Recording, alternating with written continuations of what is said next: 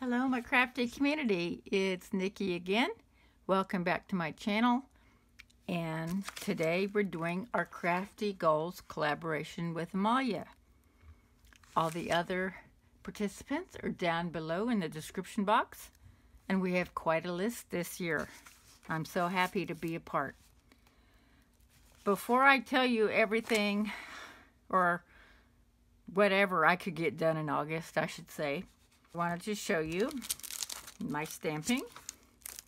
I used a Jane Davenport collection. That was gifted to me by April of Oakwell Designs. I don't know if any of you have seen her channel before. Okay. And uh, it, there's obviously a summer beach theme to it. But unfortunately, as we all know, because of the pandemic, there's probably not a lot of beach going going on. Or at least maybe there shouldn't be, I don't know. but anyway, so August 1st, we had our Crafty Goals collaboration. August 2nd, we had our August sheet load. And here is the card I created. They were Halloween, and I, so I have one of each. I did the bat, the ghost, and then this little cat. So those are my Halloween cards for the August sheet load. It used 6 by 6 paper, so that was cool. And then my process videos for that sheet load, so you all have 10 minutes. And then Dawn H Creates, there was an August 8th edition of that, and unfortunately I missed it because I got a job July 15th and it was pretty all consuming. So I missed that, unfortunately. And then on the 10th, I made Christmas cards using the Hope and Faith paper. I got inspired from Beth of Bourbon Creek Crafts. And so this is one of the cut aparts, but I used my white gel pen to put stars in the sky. Then 11 on the 11th, or embellishments on the 11th, I'm sorry, I made sun, the sunflowers with the Hero Arts October 2017 kit. And then I turned around the next upload and did the um, cards.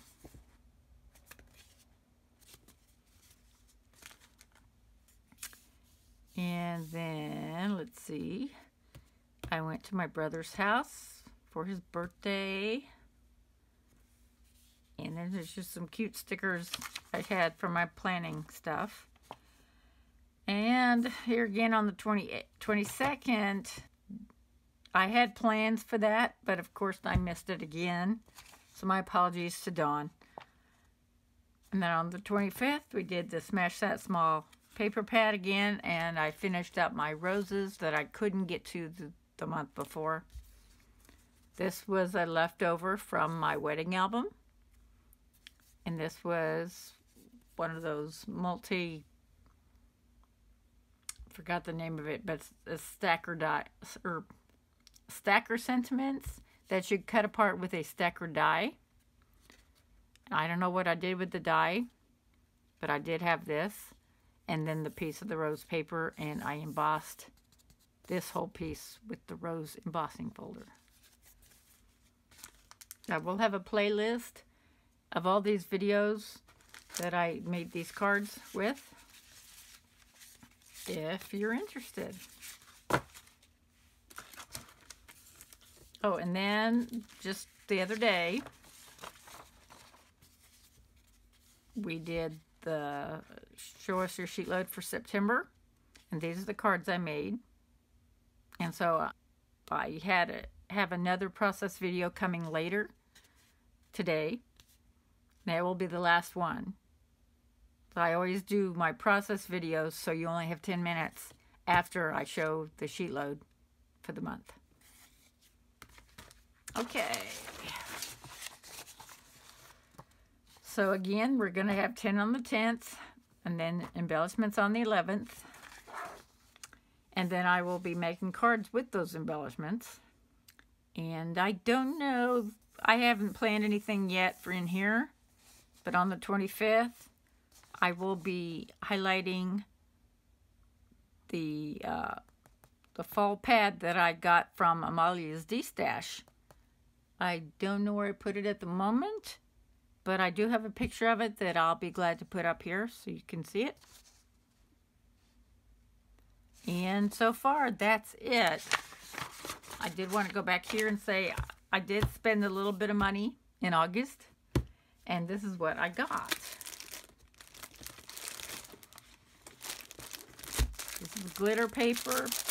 Both of these separate packages came in one big package I got from Amazon.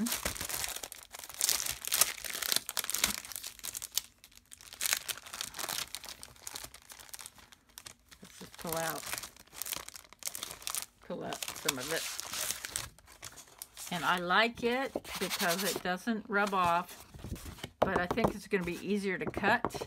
A couple months ago, was it, that I made those dragonflies, and this paper was so hard to cut, so we're going to see how this goes. But I have all kinds of great colors. I have a lot of Christmas scraps, but I don't have a lot of glitter paper. So I'm glad I got these. It'll probably last me the rest of my life, but at least I have it.